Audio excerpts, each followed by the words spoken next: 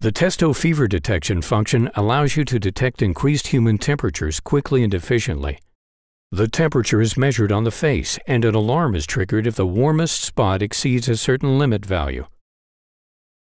For the setup, first set the average value and tolerance in the thermal imager. The mean value is updated after every completed measurement. The thermal imager can also be used semi-stationary via the HDMI interface. The checks can now begin. In order to obtain correct readings, the subjects must maintain a distance of 1 to 2 meters from the thermal imager and briefly stand still. In addition to this, spectacles must be removed for a correct measurement. Green says everything's okay. Any surgical masks must also be removed, otherwise the thermal imager will not recognize the face.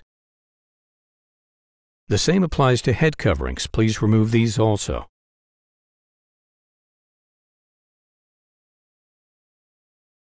In the case of a red signal, the person must be separated for a closer examination by medical personnel.